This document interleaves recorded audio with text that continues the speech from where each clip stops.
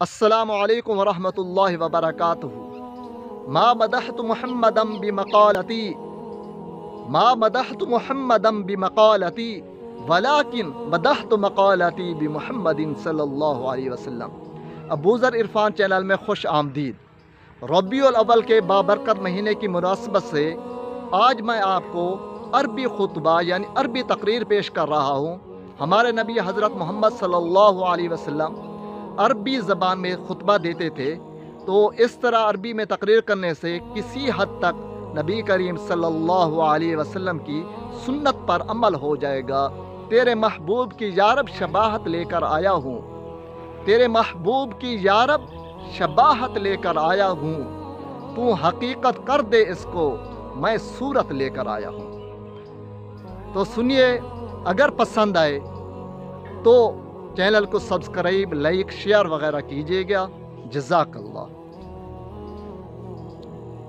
تقریر کا عنوان ہے خلق النبی یعنی نبی کریم صلی اللہ علیہ وسلم کے اعلیٰ اخلاق۔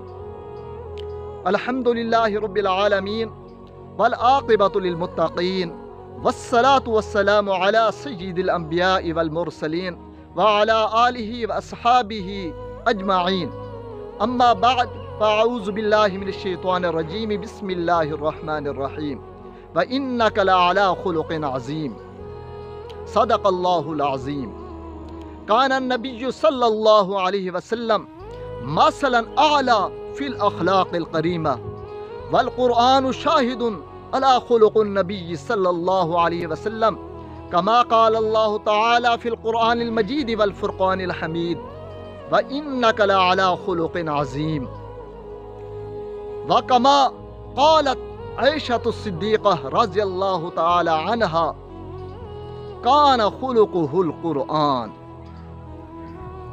وكما قال الله تعالى في الآخر سورة التوبة، لقد جاءكم رسول من أنفسكم عزيز عليه ما عنتم، حريص عليكم بالمؤمنين رؤوف رحيم. صدق الله العظيم. والتاريخ الإنساني والتاريخ الإنساني لا يستطيع أن ينسى هذا المنظر. ولما فتحت المكة وقام جميع القريش مفتوحين بين يديه صاغرين وعلى عداوتهم نادمين وخائفين.